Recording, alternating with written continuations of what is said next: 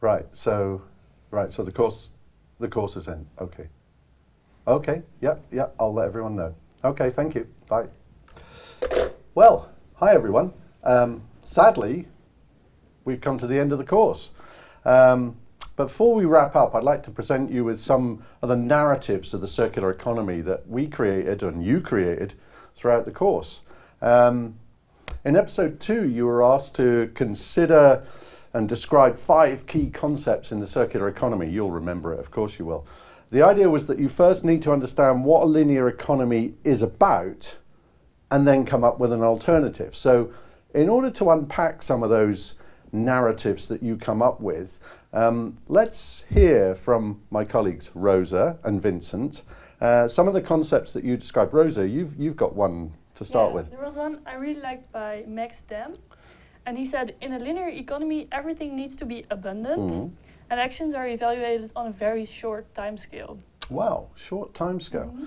Everything needs to be abundant. Hmm. That gives us food for thought, doesn't it, Yeah. eh? Hmm. Vincent, Yeah. you've got one. Tell yeah, us. I got one from uh, Cloud, the words. Okay. In a linear, linear economy, broken things are worthless. Oh, And the natural world can take anything we throw at it. wow. The natural world can take anything we throw at it. Okay. Provocative thoughts there. Mhm. Give me another one, Rosa.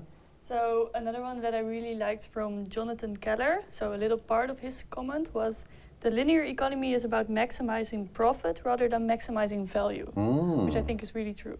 You think that's true. You like that one. Okay. Mhm. Maximizing profit rather than maximizing value. Mm. Of course, there are always thoughts and they always get uh, different thinking going on. A final one from you, Vince. Yeah, uh, about the value. John Hartland said, in a linear economy, acting out of love has no value. Oh, Home tasks such as cooking, cleaning, and voluntary work are ignored. acting out of love has no value. Love has no value. oh my goodness. Well, of course, that's not exactly what uh, John said, but I like I like these provocative thoughts. I like these narratives that get us thinking and, and questioning and taking it all further. And uh, that's a good start. Thanks very much. So, in episode four, we asked for examples and metaphors that best describe the circular economy. And you gave us loads of fantastic responses, and we want to go through a few of those fragments now, just to you know get a flavour of them. But I really would encourage you to have a look at the uh, full responses and the great stories that uh, you've posted up. But first of all, uh, well, I'm joined by Michael and, and Anna.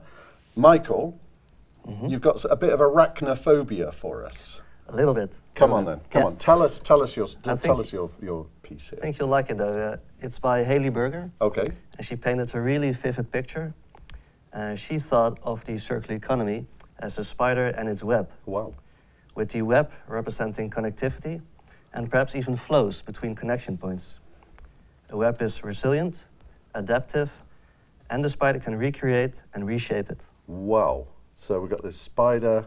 I love this this bio analogy here with this this wonderful animal with this web recreating and building over and over again. Fantastic. I love it. Anna, Yes, you've Dave. got one for us, and I think we're going to go into deep space. So we've gone from spiders to deep space. Hit, hit us with it. Yeah, an interesting metaphor by Val BCN77 uh, is that she thinks of the circular economy as a galaxy that turns on itself around and around. Wow. It is never ending, stable, sustainable, beautiful, and circular. It is composed of millions of systems. Oh wow, I love this, and and of course, from my understanding of this massive deep space type of uh, setup, everything interacts with everything else. So it's a real system. I love it. I love it. Michael, you've got another one for us. Yep. Hit us with it. I think we'll end with another poetic one. Oh, I love it. It's by Katie Shields, Okay. and it reads I see the circular economy as a set of skills Yeah. with human prosperity on the one hand hmm and our ecological footprint on the other. Okay.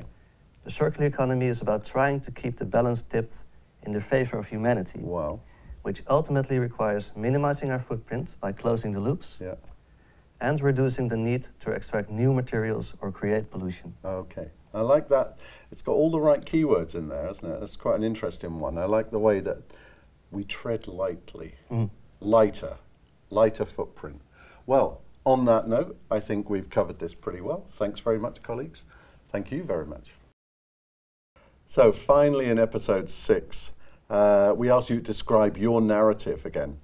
And we're now going to, we've picked out a few of our favorites. Um, we can only read some fragments from those, but we really encourage you to go and look at the full texts and find out more about those narratives.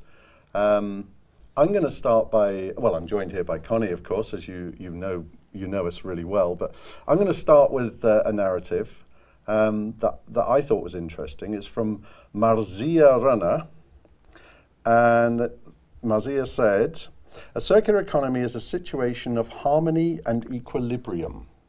Harmony and equilibrium, I like that. People are conscious that raw materials are not infinite. Hmm. And what counts is not ownership of a good, but the good use of it in society as a whole. So you see the play on words there, not ownership of a good, but the good use of it in society as a whole. I quite like that one. I like it. It, Yeah. it touches upon many topics we discussed throughout the book. Yeah, it and does. we also yeah. have another one who Oh. does. This is by Diewertje Ha. Oh, It's a circular economy is an economic model that will end the current race to the bottom. Oh, yeah. It is a continuous and almost unlimited cycle where any type of waste is seen as input, leading to a steady state where mainly secondary materials are used. yeah. Course, that raises some interesting debates with stocks and flows people. How do we, Yes. can we do that? How do we do we it? do this? So it's, it's Steady states. yeah, indeed. It, it really gets some things going there. You have another one. I have another one. Uh, Jeremiah, I love this one. It's, he says, laziness and wanting the newest and best resulted in the linear economy we have now. A circular economy is less focused on money and prioritizes sustainability, health, and good working conditions. Mm. I believe a circular economy could be the, the solution to not only material scarcity, but also global warming, global poverty, and overall global happiness. Mm.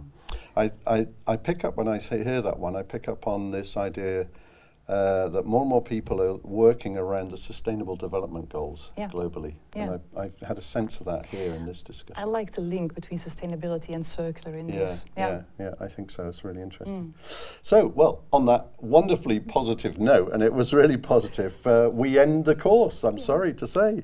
Thank you so much for your inspiration uh, and your participation, your hard work. Um, and hopefully you enjoyed the course as much as we did. We did. Yeah, Yeah. thanks. Okay, bye. Thanks.